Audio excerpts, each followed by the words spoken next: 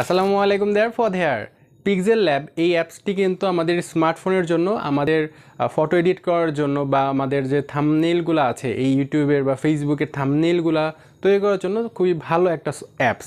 তো আমাদের যে এই অ্যাপসটা আছে মানে এই থামনেলগুলো তৈরি করার জন্য যে অ্যাপসটি আছে, এই পিক্সেল ল্যাব এই অ্যাপসের মাধ্যমে আপনারা কিন্তু ফটো এডিট করতে পারবেন ফটোর উপরে বিভিন্ন ধরনের লেখা আপনি দিতে পারবেন। কিন্তু আপনি এই অ্যাপসের মধ্যে ইংরেজিতে যদি লেখেন সেই ক্ষেত্রে অনেকগুলা ফন্টের স্টাইল পাবেন।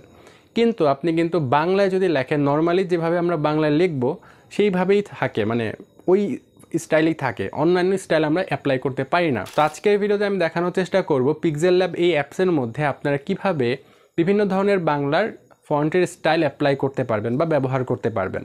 আর কথা বাড়াবো না। বিসমিল্লা তো প্রথমে আমি আপনাদের সাথে শেয়ার করতে যাচ্ছি যে আমরা কি করব। আমাদের যে উদ্দেশ্য আছে বা যে কাজটা আমাদের করতে হবে সেটা হচ্ছে আমাদের যে ইন্টারনাল স্টোরেজ আছে, আমাদের যে ফাইল ম্যানেজারে গিয়ে আমরা যে ইন্টারনাল স্টোরেজ দেখতে পাই, সেই ইন্টারনাল স্টোরেজে গিয়ে একটা ফন্টস নামে একটা ফোল্ডার তৈরি করব এবং সেই ফোল্ডারের মধ্যে আমরা বিভিন্ন বাংলার ইউনিকোডের যে ফন্টগুলো আছে সেই ফন্টগুলো রাখব দেন আমরা হচ্ছে আমাদের পিক্সেল ল্যাব অ্যাপসের অ্যাপস থেকে সেটাকে কল করতে পারি বা সেখানে আমরা দেখতে পারব তো এই ফোনগুলো আপনারা অনলাইন থেকে ডাউনলোড করতে পারেন। আপনি যদি অনলাইনে গিয়ে মানে গুগলে গিয়ে সার্চ করেন ইউনিকোড বাংলা ফন্টস এরকম লেখে যদি সার্চ করেন, তাহলে ইউনিকোডের জন্য বিভিন্ন ধরনের বাংলা ফন্ট আপনি পেয়ে যাবেন, যেটার এক্সটেনশন অর্থাৎ ফাইলের পরে এক্সটেনশনটা থাকবে হচ্ছে ডট টিটিএফ এরকমই থাকবে আর কি। যেমন আমরা ভিডিও দেখার জন্য যেমন ভিডিওর নামের পরে ডট এমপি ফোর এরকম যে ফাইলের এক্সটেনশন আছে এরকম, আপনি ডট টিটিএফ নামে একটা ফাইলের এক্সটেনশন পাবেন। সেই রকম সেই ফাইলগুলোকে আপনাকে ডাউনলোড করতে হবে। দেন হচ্ছে ওই ফন্টস নামে ফোল্ডারের মধ্যে রাখতে হবে।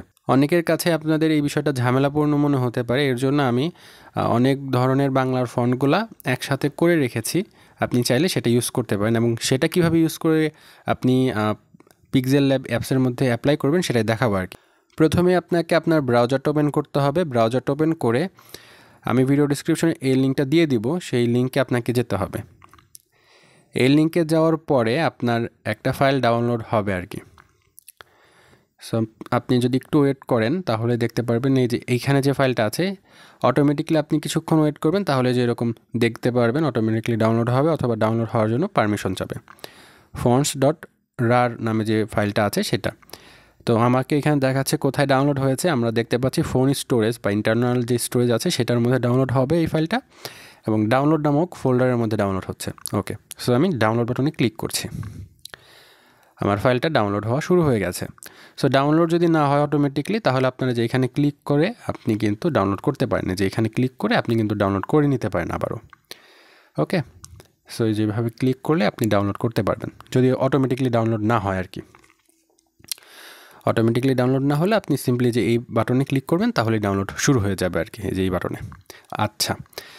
সো এখন আমাদের যে কাজটা করতে হবে আরও দুটা অ্যাপস লাগবে। তো প্রথমত হচ্ছে আমাদের পিক্সেল ল্যাব অ্যাপসটা লাগবে। সো আমাদের পিক্সেল ল্যাব অ্যাপসটা আমরা একটু ইনস্টল করে নিচ্ছি আমাদের ফোনে আশা করছি আপনাদের ফোনে পিক্সেল ল্যাব অ্যাপসটা ইনস্টল করা থাকবে।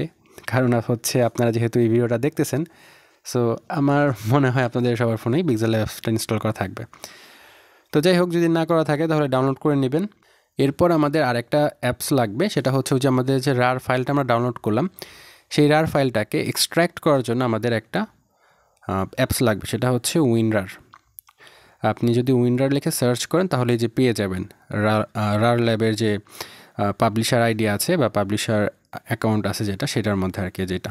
সো এই এইখানে ক্লিক করবেন। আমি এই সব কিছু লিঙ্ক ভিডিও ডিসক্রিপশনে দিয়ে দেওয়ার চেষ্টা করব, যাতে করে আপনাদের জন্য ইজি হয় বিষয়টা। তো আমরা দেখতে পাচ্ছি আমাদের দুইটা অ্যাপস মোটামুটি ইনস্টল করা হয়ে গেছে। এই যে আমরা দেখতে পাচ্ছি। তো আমরা এখন যে কাজটা করব, আমরা যদি একটু ফাইল ম্যানেজারে যাই, এবং আমাদের যে ইন্টারনাল স্টোরেজ আছে, সেখানে যাই দেন আমরা ডাউনলোডস ফোল্ডারে যাব ডাউনলোড ফোল্ডারে যাব, এবং আমরা দেখতে পাচ্ছি এই ডাউনলোড ফোল্ডারের মধ্যে আমাদের এই ফাইলটা ইনস্টল সরি ডাউনলোড হয়ে গেছে ফন্টস ডট রার আপনার যদি এসডি কার্ডের মধ্যে ডাউনলোড হয়ে থাকে, তাহলে আপনাকে একটু কষ্ট করে এসডি কার্ড থেকে সেই ফাইলটাকে কপি করে বা মুভ করে ইন্টারনাল স্টোরেজের মধ্যে আনতে হবে।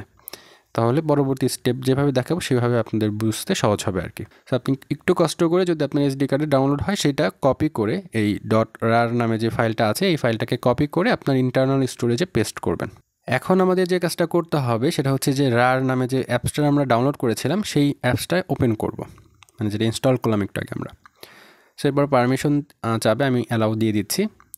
এরপর আমার এটা হচ্ছে স্টোরেজ আমরা দেখতে পাচ্ছি যেটা আছে, সেটা হচ্ছে ইন্টারনাল স্টোরেজেই আছে। আর আপনার যদি ইন্টারনাল স্টোরেজ না থাকে মানে ইন্টারনাল স্টোরেজে যদি বাই ডিফল্ট হিসেবে না থাকে, সেই ক্ষেত্রে যে এখানে ক্লিক করবেন দেন এই যে ডিভাইস স্টোরেজ এটা সিলেক্ট করে দিবেন। ওকে তাহলে হয়ে যাবে। আচ্ছা তো এখন আমরা যদি একটু স্ক্রল ডাউন করে নিচের দিকে আসি এবং এখানে আমরা দেখতে পাচ্ছি ডাউনলোডস সরি ডাউনলোড নামে যে ফোল্ডারটা আছে। কারণ আমাদের ডাউনলোড ফোল্ডারের মধ্যে আমাদের সেই ফাইলটা আছে। তো আমরা দেখতে পাচ্ছি যে ফন্টস ডট রার সো আমরা এইটাকে সিলেক্ট করব যে এখানে ক্লিক করে এটাকে সিলেক্ট করব। এরপর আমরা এইখানে ক্লিক করব। এরপর আমাকে বলতেছে এটা কোথায় পেস্ট হবে। এবং কোন ফোল্ডারের মধ্যে পেস্ট হবে এই ফাইলটা সেটা বলে দিচ্ছে। সো ফন্টস নামে ফোল্ডারে পেস্ট হবে। তো আমরা যেহেতু বলেছিলাম যে আমাদের ইন্টারনাল স্টোরেজের মধ্যে আমাদের এই ফাইলটা পেস্ট করতে হবে।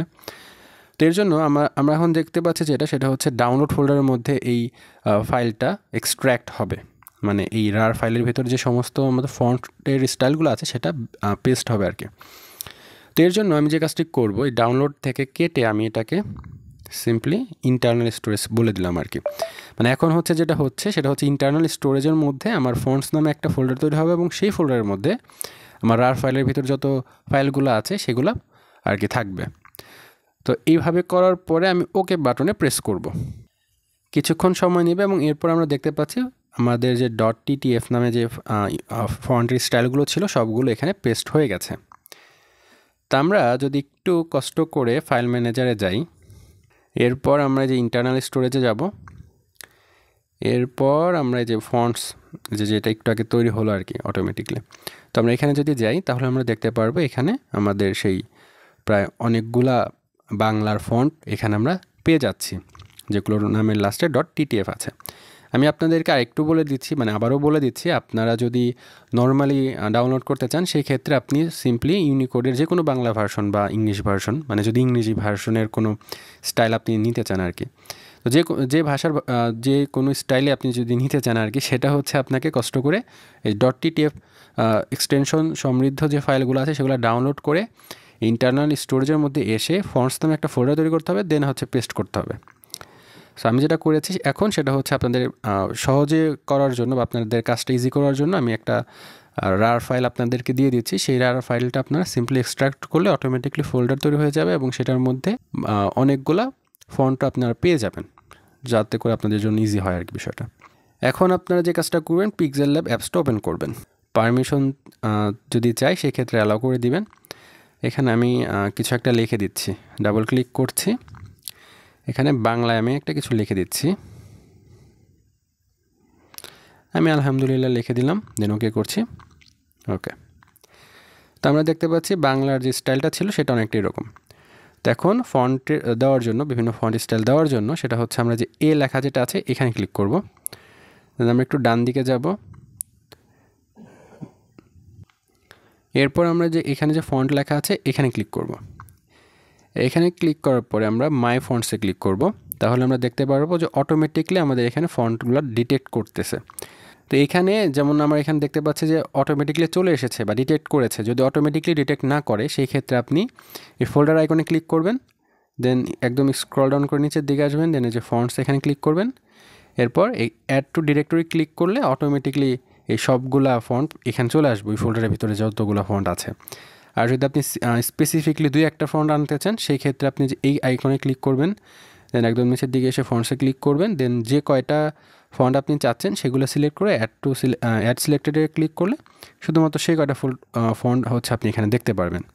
আর যেগুলো আছে সেগুলো ডিলিট করে দেওয়ার জন্য আপনি যেখানে ডিলিট বাটনে ক্লিক করলে সেটা ডিলিট হয়ে যাবে ওকে আচ্ছা। তো এখন আপনি এখানে দেখতে পাচ্ছেন প্রিভিউ দেখাচ্ছে, আমি যদি ধরেন যে আত্মা বোল্ড যেটা আছে, এটাকে সিলেক্ট করি, তাহলে আমি দেখতে পাচ্ছি এরকমই হয়ে যাচ্ছে স্টাইলটা এই যে, আপনারা দেখতেই পাচ্ছেন। তো আমি চাইলে অনলাইন স্টাইলও দিতে পারি। তো আমি এখান থেকে মাই ফোনস থেকে কাল পুরুষেরা সিলেক্ট করে দিচ্ছি। সেরকম স্টাইল হয়ে যাচ্ছে। তো এইভাবে আপনারা বাংলার যে কোনো ফন্ট স্টাইলে কিন্তু অ্যাপ্লাই করতে পারবেন। মানে যে কয়টা আপনি পান বা এখানে যে কয়টা আছে, সেগুলো কিন্তু আপনি অ্যাপ্লাই করতে পারবেন। যার ফলে আপনি মোবাইল দিয়েও বাংলার বিভিন্ন ফন্ট স্টাইল আপনি দিতে পারবেন। সো আশা করছি বুঝতে পেরেছেন যে কীভাবে আপনারা বাংলার বাংলার বিভিন্ন ধরনের ফন্ট স্টাইল অ্যাপ্লাই করতে পারবেন আপনার স্মার্টফোনে বা পিক্সেল অ্যাপসের মধ্যে। তো এই ছিল আজকের ভিডিও আশা করছি এই ভিডিওটি আপনাদের ভালো লেগেছে। এই ভিডিওটি যদি আপনাদের ভালো লাগে, তাহলে অবশ্যই ভিডিওতে লাইক দিবেন কমেন্ট করে আপনার মূল্যবান মন্তব্য অবশ্যই জানিয়ে দিবেন। আপনার কোনো সমস্যা ফেস করলে এই এই যে ভিডিওতে যা যা দেখালাম, এই নিয়ে যদি কোনো সমস্যা ফেস করেন, সেটাও কমেন্টে জানিয়ে দিতে পারেন। আর আপনার কম্পিউটার বা প্রযুক্তি নিয়ে কোনো পরামর্শ প্রয়োজন হলে বা কোনো সমস্যা ফেস করলে জয়েন হতে পারেন আমাদের ফেসবুক গ্রুপ কম্পিউটার ও প্রযুক্তি পরামর্শ। এই ফেসবুক গ্রুপে কিন্তু জয়েন হতে পারেন এবং আপনার সমস্যা বা আপনার পরামর্শ সব সব কিছুই কিন্তু শেয়ার করতে পারেন আমাদের ফেসবুক গ্রুপে ইনশাল্লাহ দেখা হবে আগামী কোনো ভিডিওতে সে পর্যন্ত সবাই ভালো থাকবেন, সুস্থ থাকবেন এবং জ্ঞানময় পৃথিবীতে সবসময় থাকবেন কৌতূহলী।